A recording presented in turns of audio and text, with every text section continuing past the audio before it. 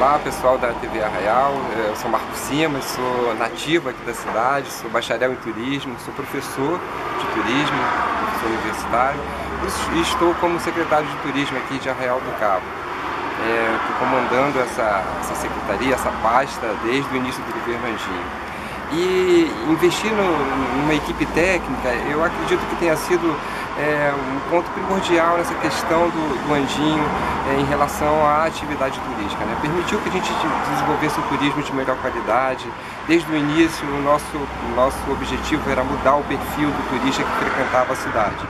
E aí a gente começou estrategicamente a fazer uma divulgação maior, é, mais direcionada para agências de viagem, para operadores de turismo, dentro de núcleos emissores aqui no Brasil, núcleos emissores de turista para aqui, para o Rio de Janeiro, para a região dos lagos, e também nos principais países da América do Sul, também onde a gente tinha é, um índice de, de, de, visitantes interessantes aqui na cidade, mas que não pernoitavam na cidade, apenas visitavam.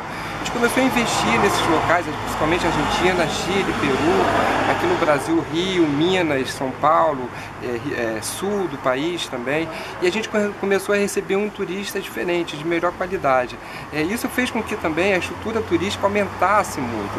Né? A gente começou com cerca de 40 meios de hospedagem, hoje a Real do passa de 100, 100 meios de hospedagem, eram 1.400 leitos, hoje já são 3.500 leitos.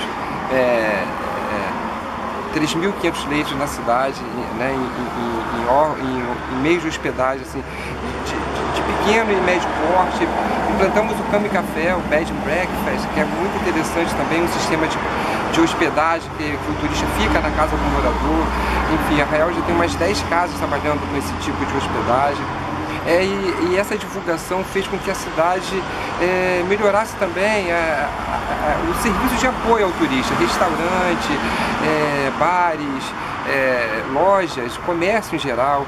A gente vê hoje que a cidade vive em função da atividade turística, isso é muito importante.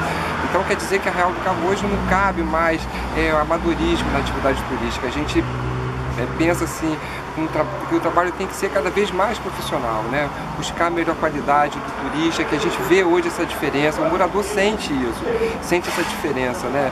um turista melhor. Hoje a gente tem um turista infinitamente diferente do que há 10 anos atrás. Eu sou morador da cidade, eu sei disso. Né? Então, além de profissional, eu sou morador e vivo a atividade turística aqui há muito tempo, não só daqui, mas de toda a região dos lagos. Então, eu vejo essa mudança, eu vejo a Real do Cabo se profissionalizando, inclusive os serviços turísticos, as pessoas atendem melhor, né? já nós temos assim meios de hospedagem de, de grande projeção já, que, que, atendem um turista muito melhor, que exige um, um, um serviço melhor também. Então a Real do Cabo é um sucesso, a Real está no caminho certo e espero que a gente continue fazendo esse serviço muito interessante, um trabalho muito gostoso, trabalhar com a cidade que a gente ama. TV Arraial, o canal que mostra a nossa gente.